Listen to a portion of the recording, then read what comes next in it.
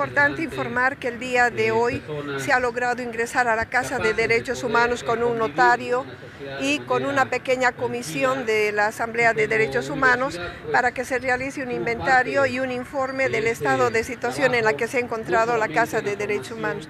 Creo que ese es un avance significativo que hemos logrado y eh, lo que sí eh, ahora estamos eh, agradeciendo a la, solidaridad internacional de organismos de derechos humanos que se han pronunciado y han exigido que mínimamente se nos restituya el derecho que había sido vulnerado. Eso es un ámbito muy importante y en ese sentido es, el agradecimiento ¿no? a estos organismos internacionales.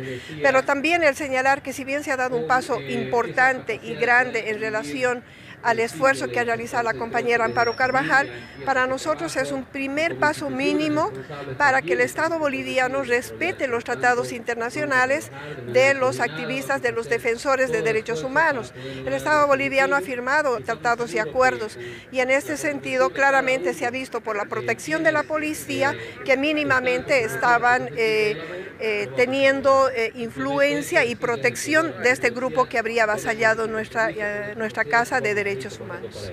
Muchísimas gracias. Mira de frente y despierta conciencia.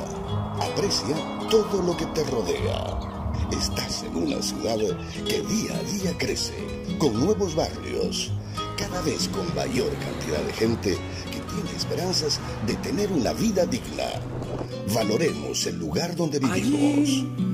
Donde nace el cantor y un poema de amor canta el valle mi amor.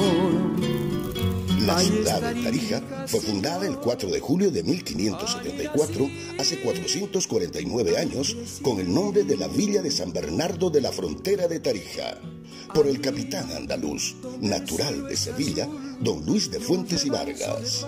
Desde este 4 de julio y durante todo el mes, en bandera tu casa. Y desde donde hayas llegado a esta ciudad, di que viva Tarija. Consejo Municipal de Tarija.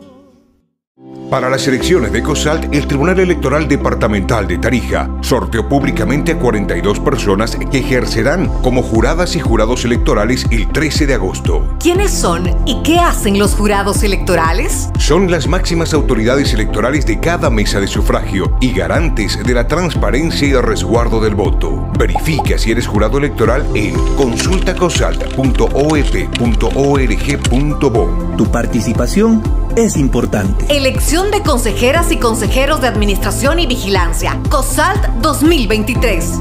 Tribunal Electoral Departamental de Tarija.